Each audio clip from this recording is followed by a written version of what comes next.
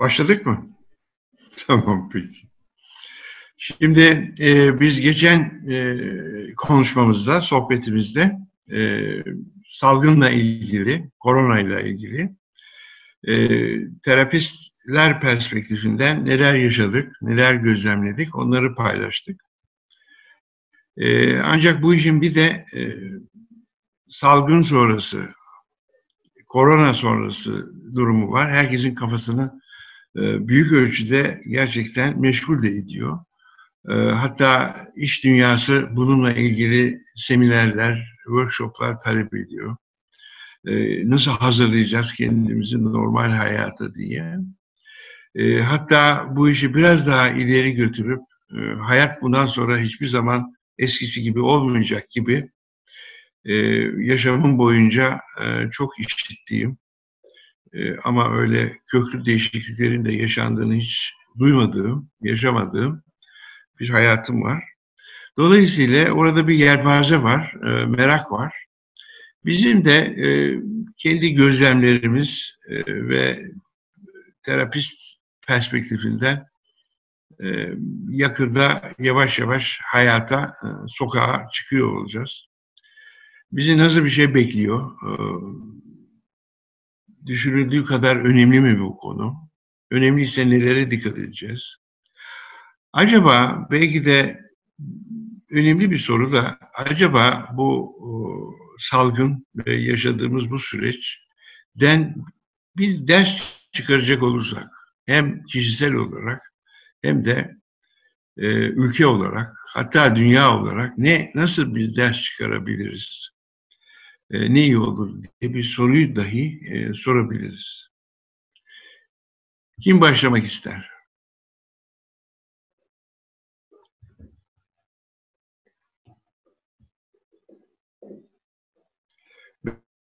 Ben el gördüm mü yoksa görmedim mi? Hocam Mustafa. Buyur Mustafa. Ee, yani ben biraz kendi yolculuğumdan bahsedeyim. Şu anda e, bildiğiniz gibi memleketteyim. Hani ani bir e, vefat haberi nedeniyle geldim. E, ilginç bir şey yaşadım. E, kuzenimin son iki çocuğunu hani görememiştim ben bu süreçte. İşte Türkiye'nin başka yerlerindeyiz hepimiz. E, ve çocuk işte hani Mustafa amcam falan diye tanıtınca Aa, o televizyondaki amcamı diye çocuk sordu. Çok basit bir soruydu ama çok anlamlı bir soruydu.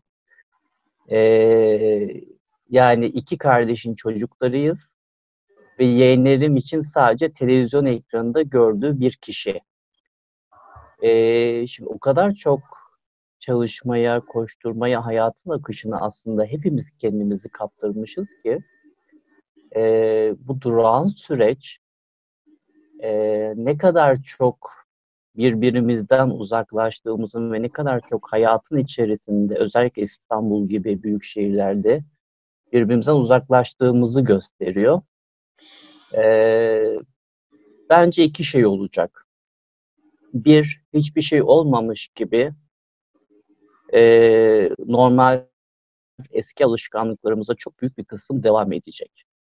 Çünkü alıştığımızı sürdürmek, alıştığımız rutinde kalmak genel alışkanlığımız. Ama bir grup var ki şu an herhalde ben de onların içerisindeyim. Neredeyim, ne yapıyorum?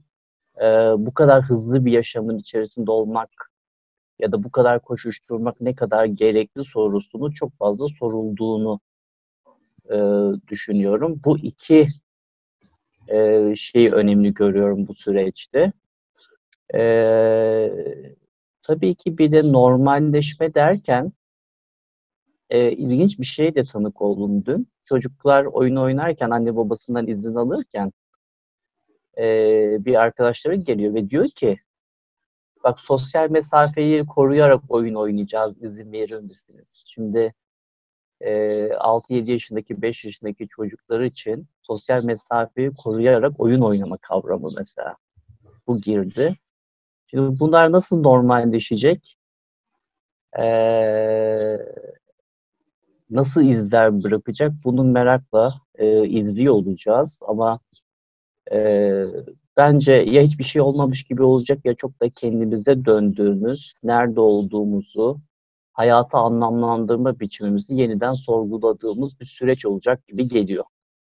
Ee, şimdilik ben bu kadar söyleyeyim.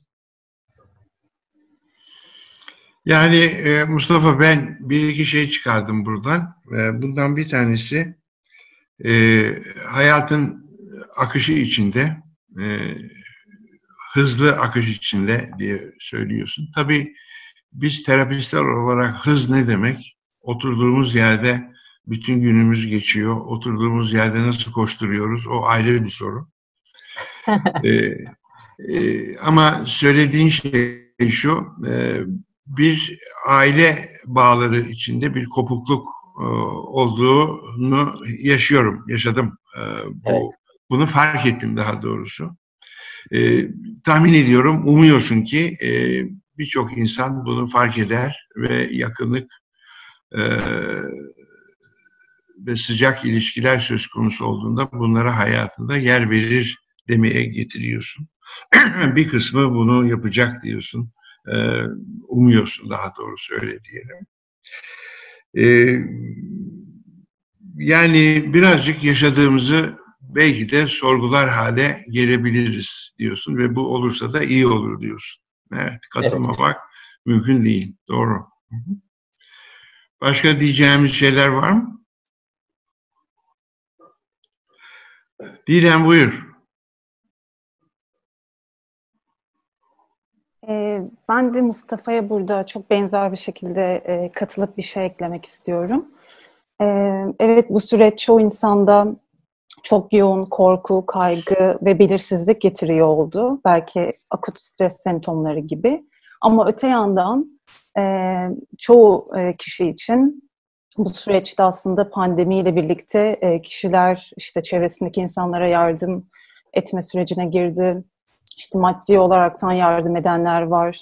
Bizler terapist olaraktan gönüllü işlerde yer alıyoruz. Aynı şekilde COVID'den etkilenenlere yardım ediyoruz.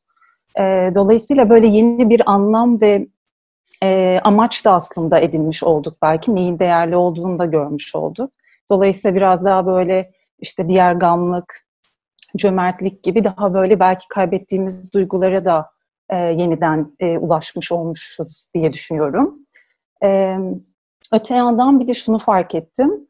E, bu sosyal izolasyonla birlikte tabii ki de bir grup insan çok daha rahat bu sürece adapte oldu. Ve bu kişilerin özelliklerine baktığımızda yeni deneyimlere daha açık olan insanlar, işte daha optimist insanlar, e, hoşgörülü ve duygusal olarak aslında stabil olan insanların çok daha rahat bu süreci geçirebildiğini görüyoruz.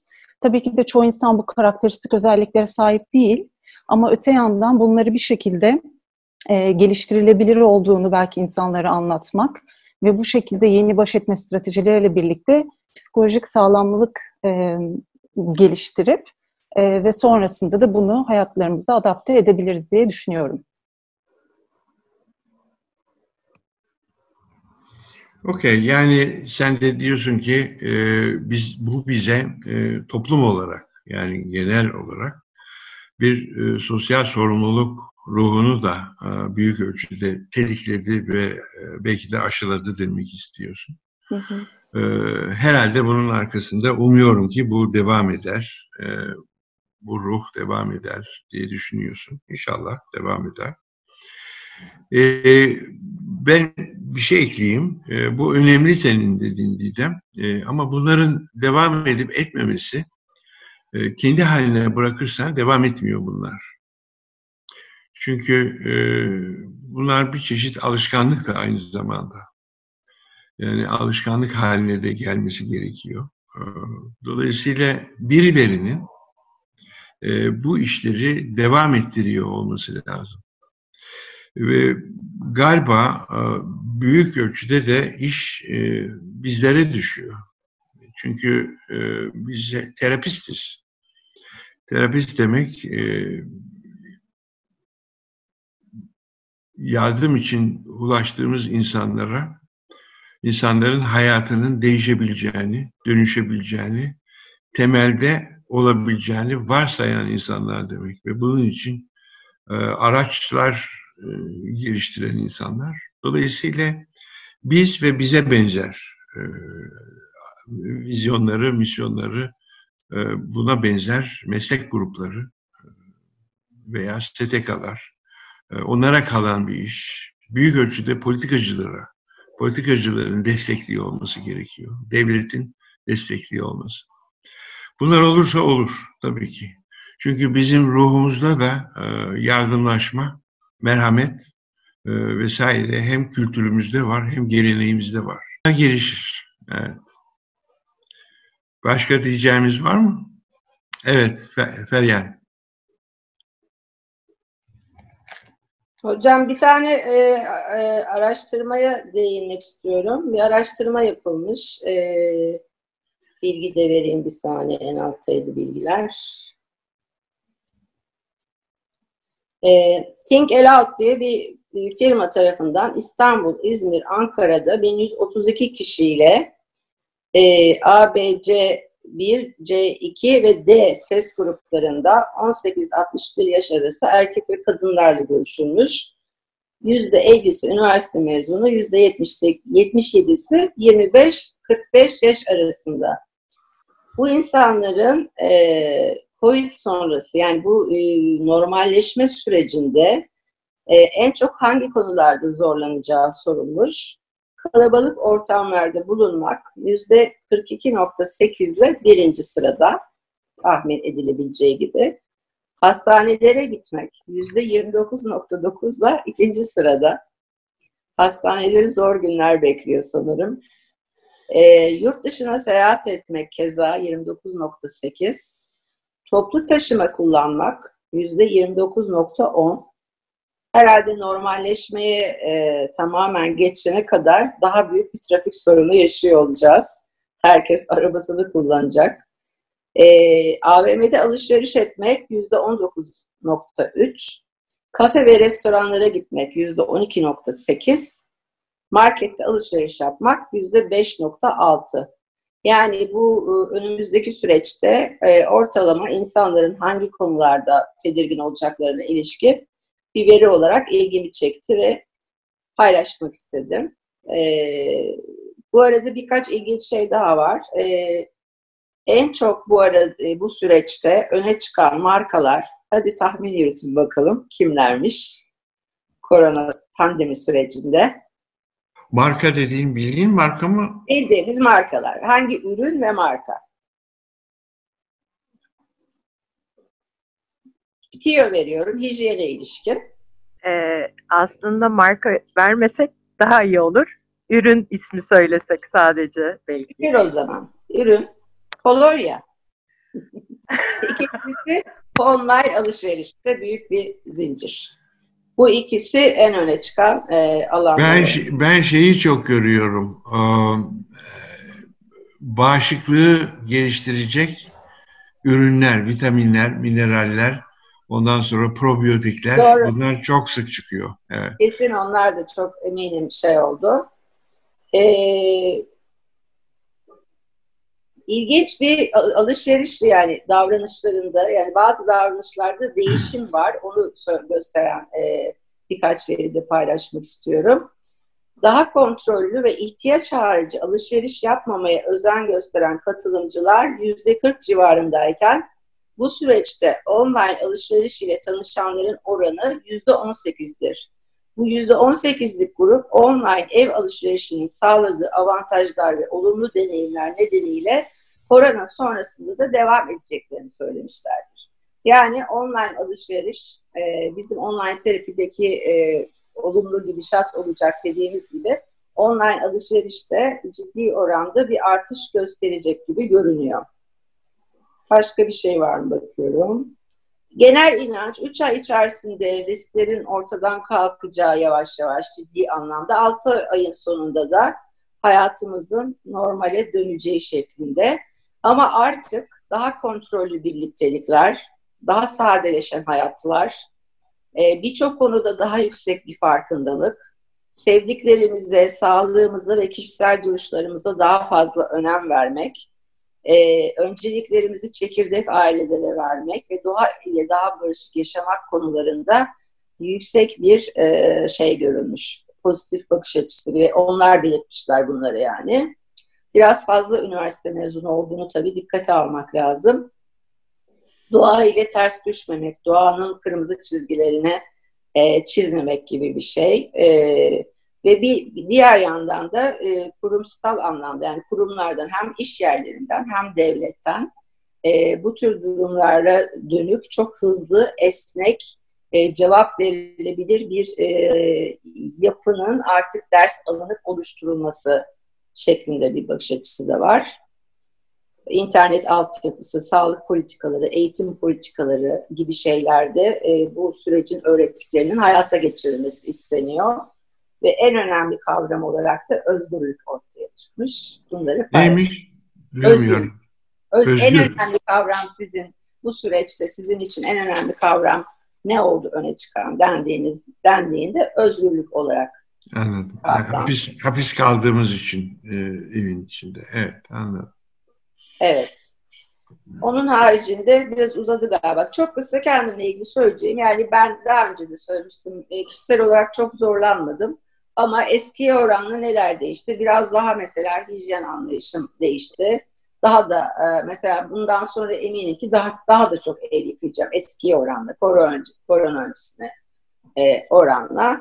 E, ben zaten bu trend olarak görülen şeylerde yaşım gereği biraz yol almıştım. Sadeleşmek olsun, doğa olsun vesaire vesaire. Onlar da zaten çok bir şey değişmeyecek. Ama genel anlamda insanların çok şey değişecek şeyine ben de Emre Hoca gibi bakıyorum. Yani bir süre sonra her şey unutulacak. Keşke Didem'in dediği konularda unutulmasa, o hassasiyetler devam etse. Ama pek e, öyle düşünmüyorum açıkçası. E, şimdilik bu kadar. Teşekkürler. Okay. E, Feryal, o araştırmadan e, benim çıkardığım sonuç şu. E, bir, e, bu salgın süresince e, birkaç ay e, süresince e, bu virüsten bayağı korktuk. Ve o korku doğrultusunda da davrandık. Yani televizyonlar, şunlar bunlar İstiklal Caddesi'ni çekiyor. İnsanlar gene sokağa çıktı. Karamsar görüşler, şunlar bunlar. İşte gene insanlar dolaşıyor, maskesiz dolaşıyor. Yani caddeye bakıyorum, İstiklal Caddesi çok tenha. Az insan var yani. E, ikincisi bir sürü insan maskeli dolaşıyor filan. Yani böyle bir e, bir karamsar şeyimiz hep çıkıyor zaten ortaya. Ee, araştırmanın söylediği şey e, bunlar devam edecek. Azalarak devam edecek korkular. Birbirimize yaklaşamayacağız. Kalabalıklara giremeyeceğiz veya zorlanacağız veya korkarak gireceğiz. Ama zaman içinde söylenen şey şu yani zımnen doğru dolaylı olarak söylenen şey bunlar o travmatik süreç içinde edinilen korkular bunlar zaman içinde geçecek. Yani eskisi gibi oynayacağız.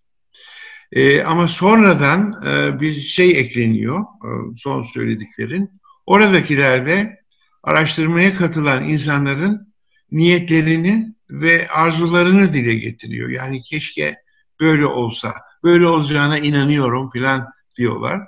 Keşke tabii ki öyle olsa. Ama e, insanları büyük ölçüde e, alışkanlıkları, günlük hayatı alışkanlıklar yönetiyor. E, dolayısıyla e, yeni alışkanlıklar üzerinde ısrar etmedikçe e, istediğimiz kadar alışkanlıklarımızı bırakmaya çalışalım. e, onlar sırıtıyor. Yani kanserli insanların iki paket sigara içtiği bir dünyada yaşıyoruz. Yani bile bile nereye gittiğini bile bile e, sürüyor. Dolayısıyla bir kısım insanlar için ders çıkarıcı olabilir ama genelde e, sana katılıyorum. E, eskisi gibi oyunlarımıza büyük ihtimalle devam ediyor oluruz. E, ama biz meslek erbabı olarak ve meslek örgütü olarak e, buralardan e, çok ders çıkarabilir ve bunu e, mesleğimizin politikalarına yansıtabiliriz. E, politik kararlar için hükümete e, yansıtabiliriz, duyurabiliriz. Yani değişim ve dönüşümler dünyanın her yerinde böyle oluyor. Az sayıda insan bir şeyler yapmaya çalışıyor ve zaman içinde, zaman alacak şekilde de etkili olabiliyor. Birdenbire olmuyor ama etkili olabiliyor. Ben öyle düşünüyorum. Neler diyebiliyoruz? Buyur Birgül. Aa dur ama Erkin vardı önceden. Şimdi geç kaldı ee, ama ben unutmuyorum bak omegalar işe yarıyor. Buyur. Hı. Teşekkürler hocam. Ee, yani evet milletçe dediğiniz gibi çok hızlı e, acil eylem planına e, girip e, çok hızlı bir süre içerisinde vazgeçebiliyoruz. Böyle bir karakteristiğimiz var. E, ilerleyen süreçlerde bu tür ihmalleri daha fazla görmemiz olası. Hafta sonu e, bizim evin oraya pideci falan geliyor. Ben aşağı bakıyorum alan insanlara e, küçücük çocuğuyla 3-5 yaşında e, işte kızıyla oğluyla aşağı iniyorlar. Bir tane insanda bile maske veya eldiven yok. Yani o hani geçti artık hayatımıza bakalım hissi e, yavaş yavaş geliyor. Bu da ikinci dalganın gelme e, ihtimalini arttırıyor. Bu biraz e, milletçe sahip olduğumuz bir karakteristik bireysel anlamda e, ateş düştüğü yeri yakacak diyorum ben. Yani e, bunu sadece kavramsal çerçevede bilen, duyan insanlar, yakın çevresinde bununla ilgili herhangi bir kayıp, ölüm yaşamamış insanlar için soyut bir kavram olarak kalacak ve bir süre sonra unutulacak ve eski alışkanlık, alışkanlıklarına tamamen geri dönecekler diye düşünüyorum. Ama yakın çevresinde e, COVID kaynaklı sağlık kaybı veya işte sevdiği birinin kaybı e, gibi acılar yaşayan ya da o kayıp ihtimaliyle yüz yüze gelen e, insanların hayatında bir takım karar değişiklikleri olabilir. Benim e, yakın çevremde pozitif e, insanlar var. E, onlarla ilgili endişelerim var. Onlarla ilgili e, şu an bilinmezlikler var. Karantina süreleri henüz tamamlanmadı. E, hem kendi sağlıkları adına endişeliler, e, bizler de yakınları olarak onlar adına endişeliyiz. E, birkaç gün falan kaldı e, karantina sürecinin bitmesine ama hani bundan sonrasını da takip etmek gerekiyor. E, süreci bu kadar yakinen yaşayan yani e, bir ölüm metaforu olan COVID'i e, bizzat yaşamış, deneyimlemiş e, o kayıp ihtimalini, birini kaybetme ya da sağlığını kaybetme ihtimalini birebir yaşamış olan kişilerin hayatında bir takım karar değişiklikleri olabilir diye düşünüyorum. E, bazı kanser hastaları da var ki o ölüm gerçeğiyle yüzleştikleri zaman iyileştikleri takdirde hayatlarında farklı kararlar e, alabiliyorlar. Ben o yakınlarımla konuşurken de e, tabii ne kadar gerçekleştirecekler bilmiyorum ama bundan sonrasında farklı bir e, farklı kararlar alacaklarına, farklı bir hayat yaşayacaklarına dair erteledikleri planları hayata geçireceklerine dair e, ifadeler duyuyorum. Evet. Zaten Erkin e, dikkat edersek e, biz iki popülasyon için konuşuyoruz. Bunlardan bir tanesi e, bu süreçleri yaşayan insanların bir kısmı e, tabii ki e, yaşamlarına farklı bir yön vermeye, hatta bazıları bir paradigma değişikliğine e, gidebildiğini şahit oluyoruz, görüyoruz. Kendimiz de yaşayabiliyoruz zaman zaman. E, ama istatistik açıdan baktığımız zaman genelini e, bu gibi süreçlerde pek ders çıkarma eğiliminde olmadığını e, da eski deneyimlerimiz, eski yaşadığımız krizler, şunlar bunlar, e, bunlar da bize gösteriyor. Yani işte deprem oluyor. 99 depreminde motto şuydu. Yani deprem yıkmadı, binalar yıkıldı diye. Yani çürük binalar. Ee, İstanbul'da 2000 kişi öldü. Neden? Çünkü site e, çürük arazi üzerine yapılmıştı. İstanbul'da başka ölüm olmadı zaten. Orada oldu. Avcılar mıydı neydi? Yani. Şey çok e, enteresan hocam. Ee, insanlar ekranları başında saatlerce deprem gerçeğiyle ilgili videolar izlerken e, deprem çantası hazırlamıyorlar. Çok çok enteresan geliyor bana. 5 dakika falan evet. sürüyor. Evet. Ben 26 Eylül depreminden sonra hazırladım. Yani toplam 5 dakika falan sürdü. Ama deprem çantasına sahip olma oranı çok düşük olduğunu düşünüyorum. Ama günlerce, saatlerce e, medyada takip edebiliyoruz. Depremle ilgili bilgi edinmeye çalışabiliyoruz. Bu bana çok enteresan geliyor.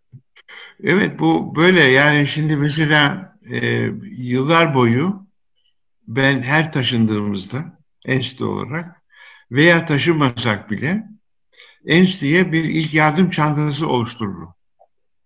Yani bunun içinde aklına gelecek herhangi bir durumda bak Selina gülmeye başladı orada. Ee, oluşturur böyle bir çanta oluştururum yani. Ee, içine girer onlar. Her her şey, her durum beklenmedik durumda kullanılır o çanta. O çanta dağılır, içinden eşyalar alınır, değişik ihtiyaçlara göre yerine konmaz filan. Yani böyle enteresan bu bunlar işte alışkanlıklardır. Evet. Ee, yavaş yavaş öğreneceğiz herhalde. Ben dersimi aldım. O çanta Hı-hı. tekrardan toparlanacak söz. Okey tamam. Birgül buyur. Merhaba hocam. Ee, bu arada biraz önce gözümden kaçmadı bir gizli reklam yaptınız siz. Anne yani şeyi ritüyü filan harekete geçirir mi? Ne falan? Omega 3 dediniz hatırlıyorum. Şey... Ha Omega 3 ama o şey e, jenerik adı Omega 3. Firma adını vermedi. tamam. Evet. Şimdi e, ben size katılıyorum. E, hemen adapte olacağımız konusunda. Yani aslında yaşadığımız ülkeye baktığımızda biz e, travmalar ülkesi diyoruz ya. Biz çok fazla gündemde yaşıyoruz, çok fazla gündem değiştiriyoruz ve bir sonraki sürece de çok çabuk adapte oluyoruz. Yani hiç olmamış gibi unutup geçiyoruz. Ben koronada da çok farklı olacağını düşünmüyorum. Bireysel düzlemde tabii birçoğumuz farklı şeyler yaşadı. Yani burada Erkin'in dediği gibi e, ateş düştüğü yeri yakar. Hani bunu çok daha yakından hissedenler çok daha başka bir şekilde etkilendi bundan. Ama bu karantina ve işte kısıtlılık döneminde de e, birçok insanda beslendiği kaynakların ne kadarı dışarıda ne kadarı içeride bence biraz bununla yüzleşti. Ve o belirsizlikte kalabilmeyle alakalı. Çünkü bugün bunları konuşuyoruz ama ilk başta hiçbirimiz ne kadar sürecek, ne olacak, bunun tedavisi var mı, bizi ne bekliyor hiçbir şey bilmiyorduk ve bugün aşağı yukarı bir fikrimiz var. Yani evet azalıyor, normale dönüyoruz diye. Ee, ben e, toplumsal olarak baktığımızda şimdi bir iki kere dışarı çıktığımda şeyi gördüm. Yani insanlar maskesiz dolaşıyor gerçekten. Yani evet sokağa çıkılabilir dendiği an bence her şey çok çabuk bir şekilde eski haline dönecek. E, tabii bunu ekonomik düzlemde, sosyal düzlemdeki e, etkilerini biz zamanla içinde yaşayarak göreceğiz ama bireysel anlamda biz bunu göreceğiz. Türk milleti bu konuda çok akıllı, yani yaratıcı. Ben e, bilmiyorum gördünüz mü o haberi? E, düğünler iptal olmasın diye halay çekmek için araya sopa koyuyorlar Birer metrelik şey sosyal mesafe için. Yani biz böyle bir milletiz. Yani o düğün yapılacak, o sosyal mesafe de korunacak bir şekilde e, bir çözüm yaratılacak. Zaten düğün yapılsın yani. Tabii korona bir taraftan çalışıyor yani nüfusu eritmeye. Ee, bir taraftan da e, çoğaltmaya çalışmak gerekiyor anlaşılan. Evet ama işte şimdi yapılan düğünler oldu mesela. Birçok kişinin de özel günüydü. E, nikahla kaldı. Düğünü sonra erteledi birçok kişi. Yani Hı-hı. hayatlarımızda birçok etki yarattı. E, ama e, tabii bu bizim hayatımızda da ne oldu? Mesela online terapi vardı belki birçoğumuzun hayatında terapist olarak. Ee, mesela ben geçen bir danışanımla konuşuyorum. Ya biz ne zaman, hani siz ne zaman döneceksiniz e, e, ofise? E, ben e, sizinle görüşmek istiyorum diyor. Ama işte terapi odasında. Yani bunun ne zaman olacak? Bunun gününü ben bilmiyorum. Yani terapist olarak ben bu danışan online'ı da istemiyor mesela. Şimdi terapist olarak burada buna verebileceğim bir cevap yok. Ne yazık ki yaz sonuna kadar diye ben o kişiyle konuşurken bilmiyoruz. Ya da bir önümüzü görelim, bir Haziran'ı görelim diye biliyorum. Ama e, buradan çok derslerle çıkıyoruz ama dediğiniz gibi hocam yeniyi tuttuğumuz sürece eski gidecek. Yani bu aldığımız dersleri hayatımıza ne kadar entegre edeceğiz? İşte bugün konuştuğumuzda korona ile ilgili birçok şey söyleyebiliriz. İşte dünya güzelleşti, işte gaz salınımı azaldı, doğa kendine geldi. Biz kendimize dönmek, döndük, dönmek zorunda bırakıldık. Bununla baş edebilenlerimiz etti, bir şeyler öğrendi. Baş edemeyenler e, bunu gördü e, bu strese nasıl baş edeceğini ya da bununla ilgili nasıl yollar e, edinebileceğini insanlar keşfetmek için e, ortak platformlarda buluştu. E, ve hani, yani Didem'in de dediği gibi şey çok önemliydi. Herkes bildiğini paylaştığı bir imece usulü de bir süreç de oluştu. Yani bu tarz zamanlarda biz birbirimize de yakınlaşıyoruz. Yani bildiğimizi de paylaşıyoruz. Ee, böyle baktığımda da evet çok şey yaşadık ama bundan çıktığımızda elimize ne kalacak? Ne kadarıyla yola devam edeceğimiz çok kişisel düzlemde olacak. Yani ben buradan ne öğrendim ve neyi değiştirmeliyim mi? E, hayatlarımızı da beraber görüyor. Yani bundan sonraki süreçte görüyor olacağız. Zamanla belli olacak gibi geliyor. Bir şey söylemek istiyorum. Evet. Türklerin yaratıcılığı ile ilgili fikir çok güzel ama uygulama yanlış. Çünkü e, karşı karşıya e, sabit dururken bir buçuk metre, e, yürürken üç metre, koşarken on metre olması gerekiyor. yani o çubukların halayı koşma olarak düşünürsen on metre olması gerekiyor ki imkansız. evet. Peki, e, İnci sen bir şey diyordun, evet. Evet hocam. Evet, e, ben de bir iki bir şey eklemek istedim. E, ilişkiler açısından bir iki bir şey eklemek istedim. Çift ilişkileri açısından özellikle. E, gerçi biz aramızda yaptığımız konuşmalarda e, bu konuya birkaç kere değindik. E, belki çift çalışan arkadaşlarım da ya da bireysel çalışan ama ilişki problemiyle gelen arkadaşlarım da olmuştur. Çünkü e, evde geçirdiğimiz süreç e, arttı ve birlikte ailecek geçirdiğimiz zaman arttı. Dolayısıyla ben şunu gözlemliyorum e, kendi danışanlarımda da e, bazı ilişkiler tabii ki bundan olumsuz etkilendi. E, çok fazla tetiklenmeler oldu. E, bazı ilişkilerde tartışmalar daha fazla arttı bu süreçte. E, e tabii bu dış kaynaklarımızı, kullandığımız dış kaynaklarımızı artık kullanamaz hale geldiğimiz için e, evde uzun süre birlikte olmak maalesef böyle bir etki yarattı. E, bazı ilişkilerde olumsuz etki yarattı, evet e, ama bazı ilişkiler için olumlu tarafları da oldu. Yani bu dönem daha güçlendirici, daha e, dönüştürücü, iyi anlamda bir etki de yarattı. Ama tabii bunun iyi, yani etkinin olumlu ya da olumsuz olması da tabii korona öncesinde zaten ilişkinin nasıl olduğuyla çok alakalıydı. E, dolayısıyla hani ben bu dönemde özellikle çifte çalıştığım için e, bu tarz e, şeylerle karşılaştım. Özellikle ilişkilerle ilgili e, gelen danışanlar, olumsuz bu sürecin onları olumsuz etkilediğini söyleyen danışanlarım oldu. E, bunu paylaşmak istedim. Bundan sonraki süreçte de bence e, bu anlamda etkilerini görmeye devam edeceğiz. E, olumsuz olarak, yani çünkü bir de şöyle bir etki yarattı bence bu korona dönemi. E, var olan problemler çok tabii tetiklendiği için, çok fazla üst düzeyde yaşandığı için hani bir an önce çözülmesi gerekiyor gibi bir e, izlenim de bıraktı bazı çiftler üzerinde. Dolayısıyla e, ileride de çift ilişkileriyle ilgili e, daha fazla e, bize dönüş olacak diye düşünüyorum. E, bunları paylaşmak, eklemek istedim. Aslında çok doğru da bir gözlemde bulunuyorsun. Çünkü e, zaten sorunlarla iç içe yaşayan çiftler söz konusu olduğunda e, bunlar genelde e, dışarıda e, ilişkileriyle ilgili e, kaynakları olan e, insanlar.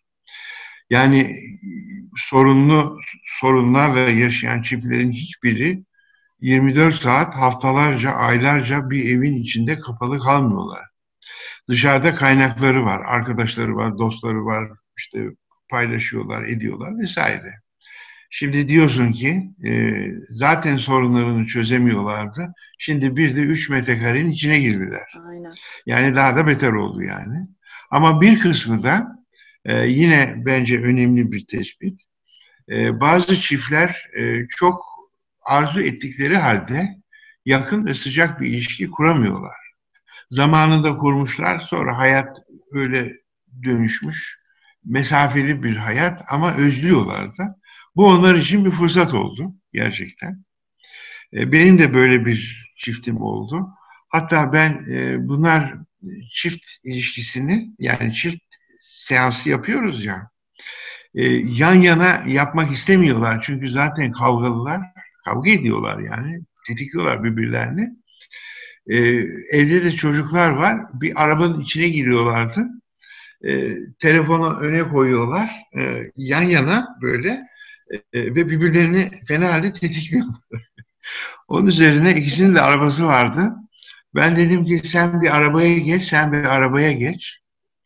Ee, arabaları yan yana getirelim. Bir önce düzgün konuşma egzersizi yapalım. Yani bu onu sağlayalım bir stabilizasyonu birbirimizi tetiklemeden.